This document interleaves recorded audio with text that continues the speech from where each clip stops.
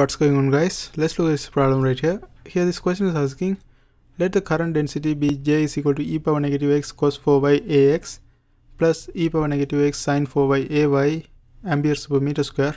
Determine the current crossing the surface x is equal to 2 and the y region is given by 0 to 5 by 3 and the z is going from 0 to 4 okay here they have mentioned the current crossing. We are looking at the determine the current crossing surface x is equal to 2 so we only looking at ax we don't have ay or az if we have something like that that's going to be 0 okay? Now we know that current equation is given by integral j ds okay? So integrate in the surface. J is current density that's provided. So we can directly plug that one and find our final answer. And uh, this is going to be and ds is equal to dy dz in the x direction so ax. i is equal to integral double integral e power negative x. I'm just copying the j that is current density. e power negative x cos 4y ax plus e power negative x sine 4y ay. And that's it. And that's dy dz in the x direction. And here you know that we have ay so we said that we are only looking at x direction.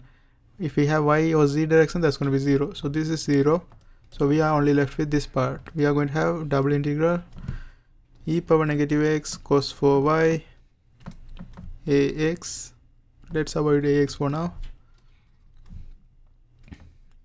Cos 4y and dy dz and that's going to be it. And uh, first we are integrating with respect to y. Y is going from 0 to 5 by 3 so the limits of integration is 0 to 5 by 3 and then z is going from 0 to 4 so this is going from 0 to 4 and after after you do the integration you are going to get something like this. We know that x is equal to 2 so e power negative 2 and then if you integrate cos 4y that's going to become sine 4y divided by 4 then that's going from 0 to 5 by 3 and then integration respect to z is going to be integration if we integrate dz that's going to be just z. So z is going from 0 to 4 and after we simplify this one i is going to be equivalent to e power negative 2 sine 4 pi divided by 3 so this is what we are getting. After you simplify this one furthermore you are going to get 0 actually negative 0 117 ampere. This negative represents current is flowing in the opposite direction. Okay that's how we do this kind of problems. I hope this helps. Thanks for watching